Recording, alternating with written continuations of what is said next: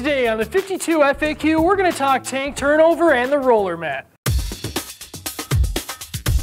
Hi, I'm RT, your host of BRS TV's 52 FAQ, where we answer all kinds of reefing questions from our popular 52 Weeks of Reefing series. This week, we're answering Patrick Egal's question. The roller mat is a max flow rate recommendation of 600 gallons per hour. That implies 3 and 3 quarter turnover per hour for this 160 gallon tank. What flow rate is your return pump putting out? We're using an Ecotech Vectra M1 DC return pump rated for up to 2,000 gallons per hour, but there's a substantial amount of head pressure from our plumbing, and it's teed off via a manifold to feed our skimmer as well. The actual flow rate through the roller mat and our sump is 650 gallons an hour, which is about four times turnover. I'm going to stop short of saying that we recommend four times turnover, but the current pump and flow rate is meeting the filtration needs of the 160 and it's close enough to the flow through rating of the roller mat as well. When it's convenient, we might consider going a bit higher. We probably won't go much more than five times turnover or 800 gallons an hour.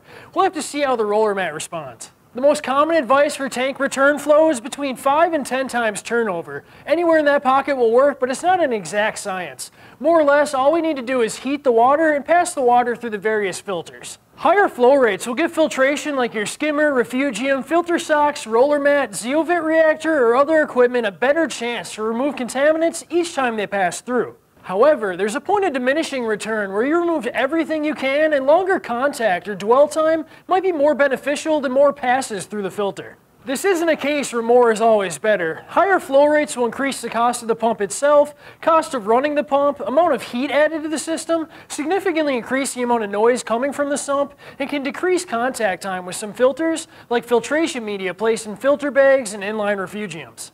In general, I'd say most reefers are recognizing that they might not need as much flow as they thought initially, gravitating closer to five times turnover. I do have a few tips that directly relate to the roller mat and tank flow rates. First, I'd recommend identifying what your real flow rate is rather than just guessing. For instance, very few people would have guessed our 2,000 gallon per hour return pump is really only sending 650 gallons per hour to the tank. Our plumbing design has some pretty significant head pressure and our skimmer is likely taking a few hundred gallons an hour. Since it's very hard to do on the output side of the pump without an expensive flow meter, one of the best ways to identify flow rate through your sump is to divert your overflow return into a bucket and just time how long it takes to fill the bucket.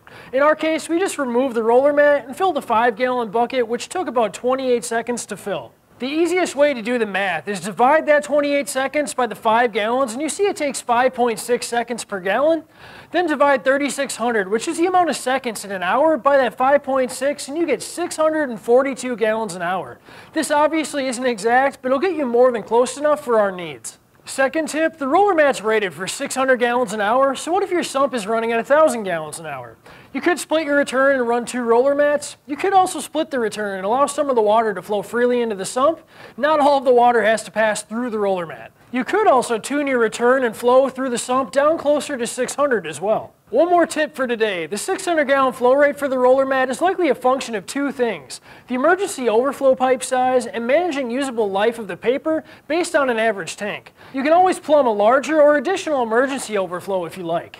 The flow rate will have two impacts on the paper itself. First, the more water passing through it, presumably the more floating food and waste particulate it will remove, which will clog it faster and cause it to consume and expose paper more quickly.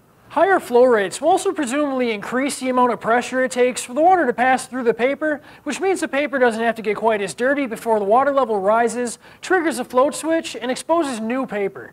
So you could get more life out of your paper roll at a lower flow rate. However, higher flow rates will not only capture more waste, but also the increased head pressure will likely cause the roller mat to collect it and remove the waste before it has a chance to break down in the tank. If you're interested in learning more about the roller mat and mechanical filtration in general, do yourself a favor and check out week 25 of 52 weeks of reefing, going beyond filter socks, the Theiling roller mat. Don't forget, not only do we love answering your questions, but this is what the 52 FAQ is based on, so check out the comments area below. If you prefer Facebook, check out the Facebook comments on the video section of our site. It's a great place to view the over 500 helpful reefing videos we've released over the years. See you soon with the next 52 FAQ.